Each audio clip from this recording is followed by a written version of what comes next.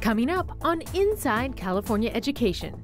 Discover how the Monterey Bay Aquarium is taking a deep dive into education, offering an immersive experience to these Placer County students. Does anybody recognize any of the other three animals? Does anybody know what any of those animals are? We'll also meet school employees who are reimagining their jobs during the pandemic, from a bus driver delivering laptops to a librarian keeping kids well read. The kids are so sweet, and it really makes my job worth it because the whole point of me being in here is to get books to them. Plus, join us as we visit Calaveras Big Tree State Park, where a park interpreter leads students from Los Angeles on a virtual field trip. What's a footless, long, short animal? That's dangerous. Snake. Rattlesnake. And explore an award winning arts program in Pasadena that introduces every student in the district to a local museum or cultural institution. Each grade level, they're experiencing something truly magical. It's all next on Inside California Education. Funding for Inside California Education is made possible by At the California Lottery, we're focused on our mission to provide supplemental essential funds to public schools, kinder through college, helping to keep teachers on staff or pay for new school computers, band equipment, and other instructional materials and services.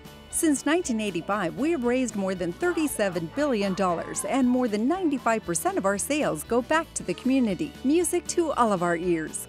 California Lottery, helping schools and communities across California. The Stuart Foundation, improving life outcomes for young people through education. ScholarShare 529, California's state sponsored tax advantaged 529 college savings plan designed to help pay for the cost of higher education. Additional funding for Inside California Education is made possible by these organizations supporting public education.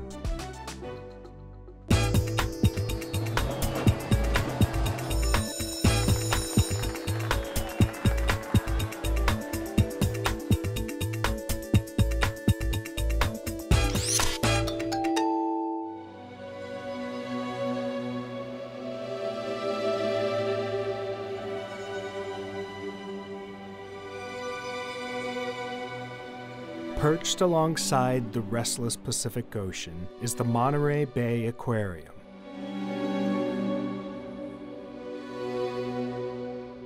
Besides a major tourist attraction, it's also regarded as a global leader in ocean research and conservation.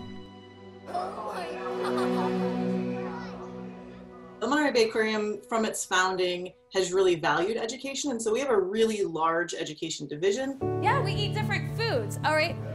Since 1984, the aquarium has been offering educational programs for students in preschool through 12th grade, providing everything from after school programs to guided field trips. They would get a facilitated experience that was about an hour long where they'd get to interact with animals, do some really cool science, and then they'd be able to explore the aquarium on their own. All of our education programs are free um, because we don't want that to be a barrier for students accessing the aquarium. But all of that changed in March 2020 we're back with a special report tonight. The Monterey Bay Aquarium is one of the most recognized tourist attractions in the country, but even they are not immune to the pandemic and now hoping for a better tomorrow. The aquarium was forced to close its doors to visitors. But the staff continues to carry on the Institute's mission. What we knew was that we wanted to continue connecting with students and we wanted to continue engaging with students. Katie Scott has been the force behind building the aquarium's robust online curriculum and has made it possible for students to experience the aquarium from their homes by providing online courses and virtual tours. Teachers can sign up for a field trip uh, via our website and their students get a 45 minute Zoom session live with an educator. So, my name is Katie, and I am a teacher at the Monterey Bay Aquarium, and I am so excited to have you here today. On this day, fourth graders from Rocklin Unified School District are participating in a virtual field trip led by Katie and her colleague Karina. Zach, would you like to share? Hermit crab um has a shell protecting it. I liked all of it. It was super cool and learning these new creatures that I had no idea that you could even find in tide pools. If you actually touch a sea cucumber, it feels like Play Doh. Those spikes are not hard at all, they're squishy. Dad is gonna gross my mom out. I bet, yeah. We've also started to offer online courses for students from preschool to 12th grade. They're also designed to get kids thinking about the outdoors and, if possible, going into the outdoors. You've practiced your sea otter observing skills. It's time to use them to observe. Have fun observing, otter spotters. I see a dog! Maybe they're going into their backyard, or if they don't have a backyard, maybe they're taking a walk around their neighborhood and they're looking for animals in that space, whether they be birds or ants or anything. And they're taking data on those animals that they find. We're asking students to think like scientists and do the same types of things that scientists do. Can you hold up your illustration so I can see what you drew there? Ooh, Naomi's got two views. Ooh, y'all are some good scientific illustrators they really bring it down to a very cohesive level for the students to maybe be able to understand um, some pretty complex concepts about science and conservation. Climate change is definitely a challenge. That's a challenge for animals wherever they live, right? Because conservation got... is extremely important for, um, I believe, my students to learn because they're, you know, they're really our legacy. And that message is getting across to students. If you just like sit around watching the ecosystem getting destroyed, it just basically destroys Earth. We were gonna go on a field trip to the Monterey Bay Aquarium and like stay overnight, but since coronavirus came, we couldn't. So I like that I get to know how it is now. Does anybody know the science name when we're talking about body parts and behaviors that help someone survive in, in the wild? Adaptations. Adaptations. Brilliant. Yes. I think the silver lining in all of this is that it is empowering for students to know that we can adapt and to be resilient, to be flexible. You know, children will learn where there's a will, there's a way. And don't we want our students to all have that idea that we don't give up? And that's really what science is also about, that we never give up. We're all going through a shared trauma right now. This is really difficult times. And what we know is that connecting with animals and connecting with nature makes us feel better. And so, especially at this time, if we can offer content that makes those students feel a little bit better, that this is going to be okay, I think that that's really important right now. Well, it was great to meet you all today. I hope you had a fun time. Hopefully, we'll be open again soon and you'll be able to come back and visit us. Thank you so much. Bye. Bye. Bye. Bye. The Monterey Bay Aquarium now offers 13 online courses to schools and students all over the world. More than 40,000 people have enrolled in the courses from 93 different countries.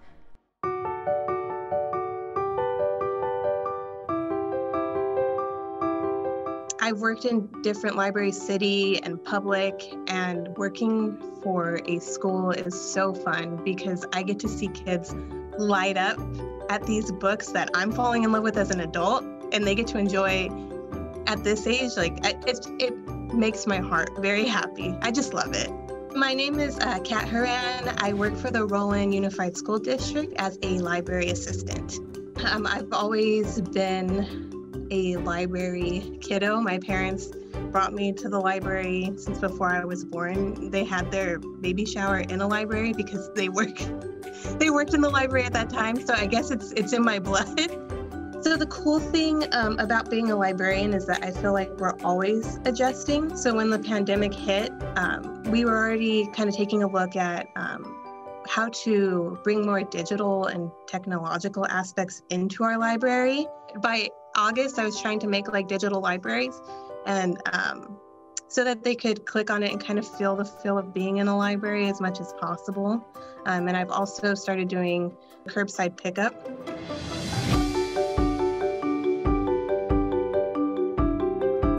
when we have curbside pickup, the kids um, come with their parents and they drive up, and I've got my book cart full of books and all of their stuff set up. Um, they let me know what they're there for. I recognize a bunch of the kids. Um, I hand them their books and they're good to go.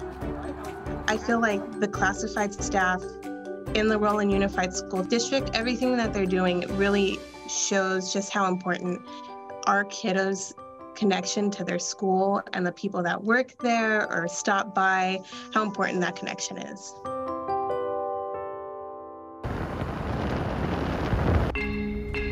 My name is Myra Aguirre, and I'm a school bus driver, and I work for Rocklin Unified School District. I like driving. I like driving. I like, you know, interacting with the kids. I like special ed kids. I like, yeah.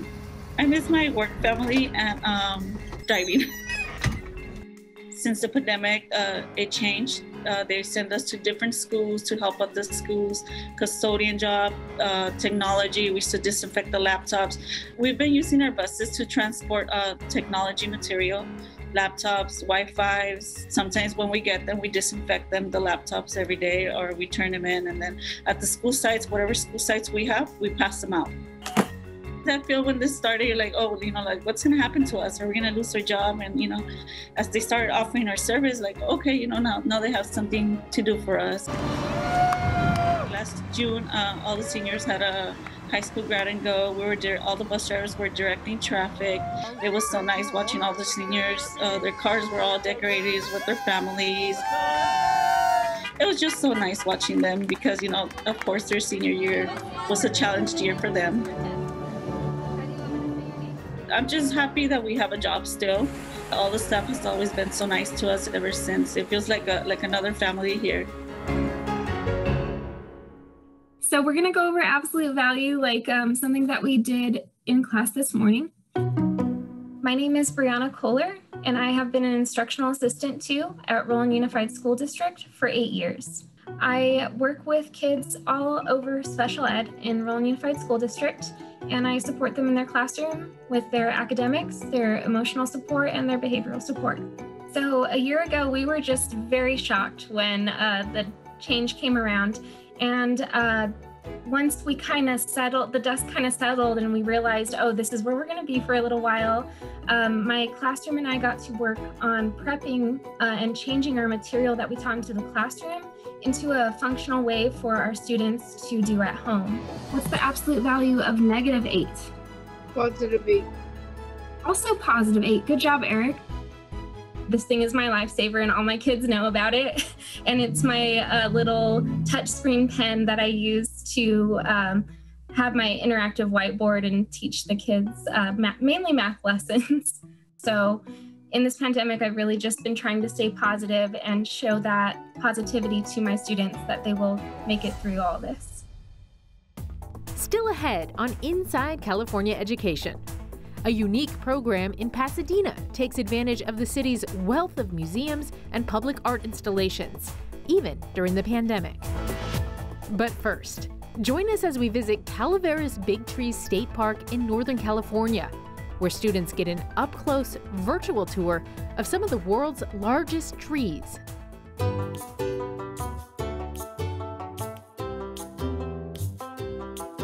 Welcome first graders, room seven, Calaveras Big Trees State Park. Park Ranger Jenny Camperta loves talking with kids about the giant sequoias and other flora and fauna at Calaveras Big Trees State Park. In the past, these first graders might have discovered these gentle giants on an actual field trip. But here, the experience has gone virtual, thanks to an ambitious effort by California State Parks. It's called PORTS, Parks Online Resources for Teachers and Students. We're spending the next 40 minutes or so learning all about these trees. We're going to read a story. We're going to take a short little nature walk, and we're going to have lots and lots of fun. It's very hard to come into the Sierra Nevada. They don't have the ability to to go anywhere right now, especially during pandemic. So I'm planting that seed of these trees. These trees are extremely rare. They're California natives. They don't grow everywhere. So they get to have that in their hearts now. The state park's PORTS program actually started in 2004, but with COVID closing hundreds of schools and forcing kids to learn from home, the need for and use of live remote learning has skyrocketed. Thankfully, advances in technology have made it much easier for teachers, parents, and kids to use and fully participate in free learning opportunities like this one. So, first graders, what would be the biggest animal we would find here at Calaveras Big Tree State Park in the mountains and the forests of California? What would be the biggest? It's like this big. It has big paws, really big paws. Bear. Bear. Bear. Bear. And you are correct, first graders. The black bear. I've only seen small trees and I've never seen big trees like that. So it makes me want to see how tall that tree is in real life. I was very proud of everybody for participating and asking and you know sharing their thoughts. You know, that's a big deal for six and seven year olds to do that. Amy Dido is a first grade teacher at Short Avenue Elementary School. She's such an enthusiastic supporter of the program, she signed her students up for multiple sessions. The first at Hearst Castle she described as magical and special, while Big Trees gave her Los Angeles students a look at trees and snow they may have never experienced in person before. This will definitely be part of something moving forward. You know, whether we're COVID or not, you know, virtual field trips will be a part of my curriculum and a part of our learning because we have a lot of access in Los Angeles, but we could never visit Hearst Castle. We could never go to the Sequoias. So now, you know, we can do that. What's a footless, long, short animal? That's dangerous. Snake. Rattlesnake. I thought today's field trip was two thumbs up. As a program presenter, Jenny Camperda figures she's connected with classrooms in almost every state, even internationally. Program manager Brad Cray estimates 200,000 students and teachers will use this free service over the 2021 school year, almost a four-fold yearly increase from before the pandemic. 40 state parks offer a wide variety of live remote classroom experiences. Nature programs like the one at Anza Borrego Desert State Park, Bodie, Columbia, and Sutter's Fort State Historic Parks. Even unexpected experiences like stately Hearst Castle or underwater in Monterey Bay. These content experts are park interpreters. They are educators, the ones that know and love and care about it. They're scientists, they're historians, they're the storytellers of these resources. They have access to them. Good morning, everyone. This has really kind of shaken out to be, I think, one of the best ways possible to use education technology, video communications, and put it in unique locations because that's people deserve access to their California state parks. We're really lucky to live in California. We have the best trees on earth right in our state. It means the world to me. This is why I do what I do. It's like so important that these kids get to see more of California beyond their backyard, beyond their neighborhood, beyond what they're used to. Expanding their, their world and showing them what is out there. Thank you for coming, and I hope one day you can come and visit the trees in person. Thank you. Thank you. Teachers can schedule virtual field trips by going to the California State Parks Ports website. Each experience is live, exclusive, and intimate, devoted to just your school or classroom. There's also recorded experiences on the Ports website and YouTube channel. The goal? Provide access and experience to any student, regardless of location, background, or social status, providing an online experience now and perhaps inspiring a future journey to enjoy these parks in person.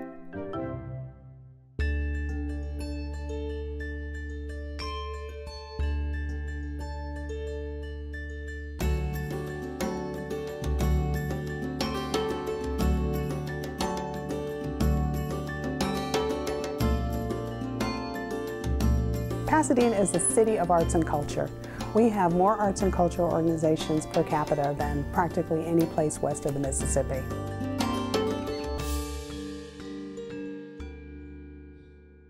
Pasadena is a major cultural hub in Southern California with a number of museums, many within walking distance of one another.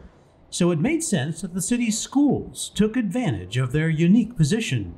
Because we have such a rich uh, cultural center here in Pasadena with so many world class institutions, we're able to provide a progressive curriculum where students can visit these cultural institutions each year in kindergarten through sixth grade to get a holistic picture of the incredible resources that are available in our community. My Masterpieces is a partnership between the Pasadena Unified School District and the Pasadena Educational Foundation. Every one of the district's 9,000 plus students goes on a field trip each year to a different museum or institution. Lessons learned on the field trip are then brought back to the classroom. In kindergarten, our students visit the Kidspace Museum and study patterns patterns in science, patterns in nature, and patterns in color in art. In first grade, our students visit the Huntington Museum and Gardens and look at the idea of portraiture versus landscape versus sculpture. In second grade, our students have the opportunity to take a public walking tour of the city of Pasadena. So we start at City Hall, and our partners from Side Street Projects take our students on a tour of this public art with a guidebook that then they take home so that they can bring their parents on the same exact tour afterwards.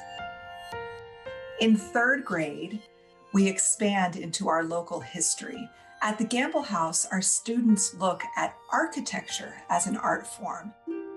In fourth grade, our students visit the Pasadena Museum of History and the Fenyes Mansion. In fifth grade, our students visit the Norton Simon Museum. They also visit the Armory Center for the Arts to engage with a more contemporary art gallery experience. In sixth grade, our students visit the Pacific Asia Museum to connect with their curriculum in ancient civilizations. What's beautiful about this program is that students in our public schools are getting a tour through the cultural uh, resources of our community, the amazing cultural resources and each grade level they're experiencing something truly magical. Second grader Kindell says My Masterpieces has changed her perspectives on how she looks at art. I see art in a different way. Like I see art whenever it's um, supposed to be this way. I always look at um, in different ways, like a diamond or like this way, and I look at it all different ways to see if it makes something different. When the pandemic hit and we had to stop all of our field trips, it made it seem like my masterpieces was going to be done. The schools closed and the museums closed, and we had to re visualize this program. Uh, at first, it seemed absolutely impossible. Each cultural institution, after many meetings with us here at PUSD, figured out a way that they could present their curriculum and their material in our virtual classrooms. This is a map of the Silk Road. And the first thing I think you notice, it isn't one Silk Road. And you may have already studied that. These sixth graders are on a virtual field trip with a docent from the Pacific Asia Museum, where they're immersed in the Silk Road. To keep my masterpieces alive, partnering institutions quickly pivoted to providing online courses for teachers to download and use in virtual classrooms, or scheduling virtual field trips with docent led tours and art experiences. Oh, you have to come to the museum so we can. Thank you. I'm sorry we didn't get into Buddhism another time. You are an exceptional class, and I. Anderson says transitioning their traditional field trip program into a distanced learning model has opened up more opportunities to provide an expanded curriculum for students. And it's been really interesting to go through that process of reimagining it through this context. And we've built some really great content that we'll be able to use in the future. I'm a parent and I am the father of a student, and to see the program in action from that perspective has been a great joy. To see the community come together and embrace the students in our public schools is a wonderfully satisfying thing to be a part of. We believe in arts education, and we believe that it is essential for our students to have this progressive experience in their earliest years and to understand what our city has to offer them. That's it for this edition of Inside California Education. If you'd like more information about the program, log on to our website, insidecaled.org. We have video from all of our shows, and you can connect with us on social media. Thanks for joining us. We'll see you next time on Inside California Education. You'll get a chance to explore the habitat of a sea otter, learn how sea otters move, and how to carefully observe animal behaviors in the wild. Wave to Miss Cat. Thank you for coming, and I hope one day you can come and visit the trees in person.